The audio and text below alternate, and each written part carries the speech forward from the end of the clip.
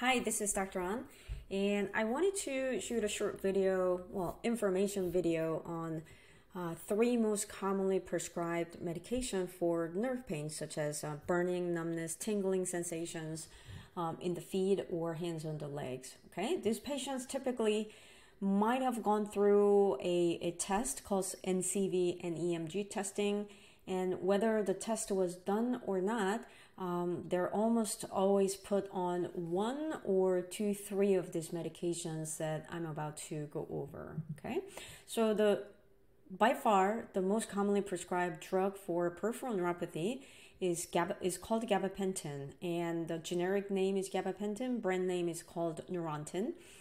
What it is is a anticonvulsant uh, or anti-seizure medication that was approved uh, back in 1993. It is the 10th most commonly prescribed medicine in the United States. And I, I don't know, it's kind of hard to believe because almost everyone that comes into our clinic is on it. Okay. It's used frequently for diabetic neuropathy and other nerve pains as well too. So it's more like a off-label use for uh, nerve pain. And the maximum dose is 2400 to 3600 a day. Okay. And, and remember that this is an anticonvulsant and anti-seizure medication. So how is gabapentin preventing someone from or help someone um, that has a seizure disorder? It does that by depressing your brain's activity so that way you don't have this overactivity of seizures, right? So, um, it, you know, how would it be helpful for neuropathy pain is well, it's depressing your brain's activity, so you really are not going to feel much of anything, uh, you know, if it does work, right? So, um, first thing that I want to point out is gabapentin uh, carries a black box warning from FDA.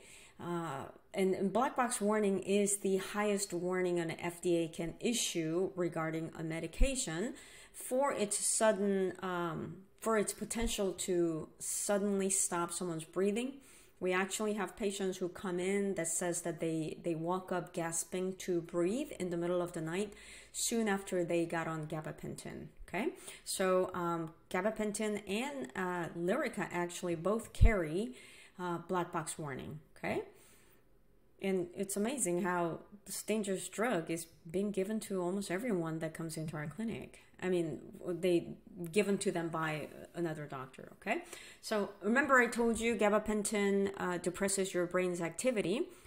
Well, what's going to happen to your memory if you take a medication that depresses your brain's activity? Well, your memory is going to be affected. So if someone takes gabapentin on a long term, um, the the chance of memory loss, uh, age-related dementia, brain related disorders such as Parkinson's, Alzheimer's goes up substantially. And because it depresses the brain's activity, a lot of our patients describe the side effect as I feel like a zombie. Um, it can also cause blurred vision. As I mentioned, sudden stop of breathing and weight gain is another very famous one often patient will be sitting next to with a spouse and the spouse will like stare at the patient and go is that why you've been so forgetful? Okay?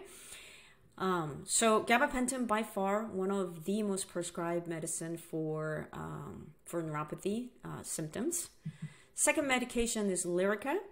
It was mentioned earlier again lyrica again carries a black box warning for its potential of um, suddenly stop breathing it can also cause dizziness, lethargy, tremor, headaches, and it's also mildly addictive. And by the way, if you go Google these names, look at all this lawsuit lawsuit that is being brought on to the makers of this medicine, uh, Pfizer and Eli Lilly, um, for all the side effect that these medications causes. And uh, this is a list of, um, you know, articles relating to gabapentin. And uh, here is one for uh, Lyrica. And I mean, if you type in uh, these medications, side effect, and lawsuit, you're going to see a plethora of information of, of how there are attorneys specializing in lawsuits um, for the injuries or the damages caused by gabapentin and Lyrica.